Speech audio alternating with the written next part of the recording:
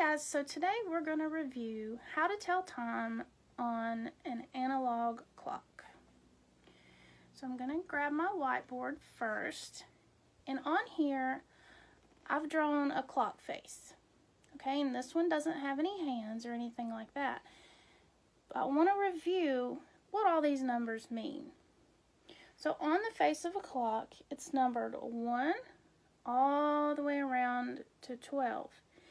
And these numbers tell us what the hour is. So like if we said 3 o'clock, we're referring to the hour of 3. Now on a real clock, you don't have these numbers, the ones that go around the outside. I drew these on there to remind you that those are our minutes. So when we figure out how many minutes it is in time, so if I said 3.15, right, be 3 hours 15 minutes, each one of these hour numbers represent 5 minutes. So it starts at the 12. The 12 is 0 minutes. And then remember, we count by fives. So at the 1, it's 5 minutes. The 2, it's 10 minutes. At the 3, it's 15 minutes. 4 is 20 minutes. 5 is 25, and the 6 is 30 minutes. And we can also refer to this as half, right? It's half of our minutes. So if I said it is half past 1, that's the same thing as 1.30, okay? And then we keep going counting by 5. So 7 is 35, 8 is 40, 9 is 45, 10 is 50, and 11 is 55.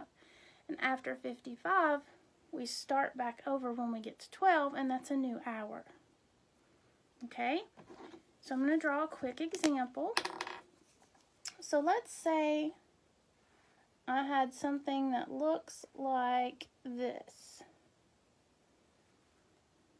Okay, remember our hour hand is the shorter one. It's not as long as our minute hand. So on this example, which one is my hour hand? See if you can figure it out. Right, my hour is 10. So I know that my hour is going to be 10. And then we put our two little dots, right? That separates our hour and our minutes. And then I'm going to count by my fives to see how many minutes after 10 it is. So it's 5, 10, 15, 20, 25. So again, I'm going to write my time as 1025. Alright, so now I'm going to put my whiteboard down. I'm going to get my clock. Alright, and this is called a Judy clock. And you guys have seen these before. So I'm going to turn the hands on my clock and make a few different times. And we're going to talk about them and see if we can figure them out. Right, and the Judy clock's cool because it works just like a normal clock. So as my minute hand goes around, my hour hand moves and I didn't even have to touch it. So we started at noon, right? We started at 12 and then I went around one complete circle. So what time is it now? Good, it's one o'clock. So if I keep going with my minute hand and I stop on the 7, now let's look carefully. I want you to look at my hour hand. It moved, right? Now it's between the 1 and the 2. So does that mean it's now 2 o'clock? Right, remember, it's not a new hour until we go all the way around. So even though it's between the 1 and the 2, it's not made it to 2 yet, so it's not 2 o'clock yet. So it's still 1, and then how many minutes? 5, 10, 15, 20, 25, 30, 35. So we would write this as 1, 35, right? Remember 1, two little dots, and 35. So let's do another one. What if I keep going, keep going, and stop? Now what time do we have? Good, so we'll look at our hour hand first. It's between the 3 and the 4, but it's not made it to the 4 yet. And our minute hand is around on the number 9. So when we count by fives, right, we can start here. We don't have to go all the way around because if we remember, the 6 is always 30. It's halfway around, so we can start on 30. We can say 30, 35, 40, 45. So now our time is 3, 45. All right, now let's keep going, keep going. What about now? So let's look at our hour hand. It's super close to the 6, but has it made it there yet? Not quite. So our hour is still going to be 5.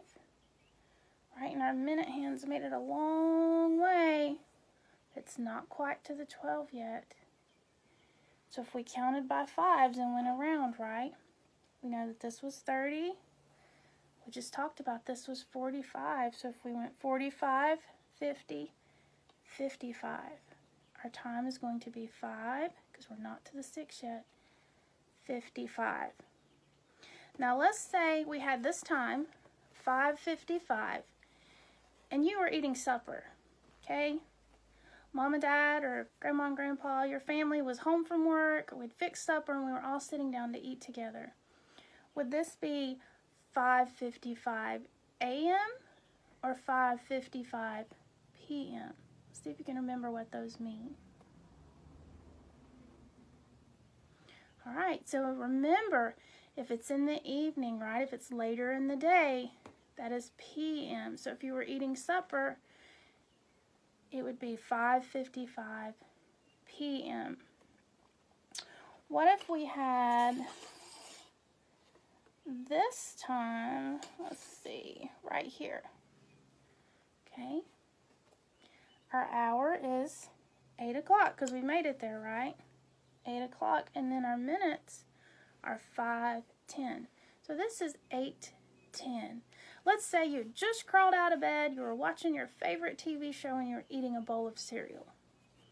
Would this be 8:10 a.m. or 8:10 p.m.?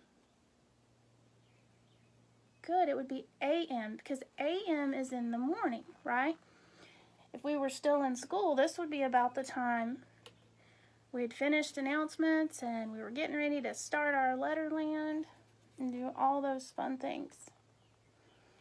All right, so let's talk for another minute. If both hands were straight up and down, right, straight up and down, this one's tricky, and you are eating lunch, all right, straight up and down, which means the hour hand and the minute hand are both on 12, so it's 12 o'clock, right? Because remember, it's zero minutes up here. And let's say now you are eating lunch. There's a tricky one. Would this be AM or PM? This one would be PM. Because if you remember, all those morning hours, like when it's dark and then your mom or dad or somebody wakes you up and you're like, oh, and then you get out of bed and you eat breakfast, right? All the time before lunchtime is those morning hours. Those are AM. And then once we get straight up and down, to lunchtime after that, right? When it starts getting later in the day, and then you eat supper, and then it gets dark and you go to bed, those are all our PM hours. So if it's daylight and it's 12 o'clock straight up and down, it's PM. But if it goes around again and it comes back where both hands are on 12 and it's dark, then it's AM. Okay, that's in the middle of the night. That's midnight when all the AM hours start again. Alright, so I hope you guys remember all that from when we've learned it before. and I want you now to try to impress your families with your awesome time-telling skills. Love you guys, and I'll see you again soon.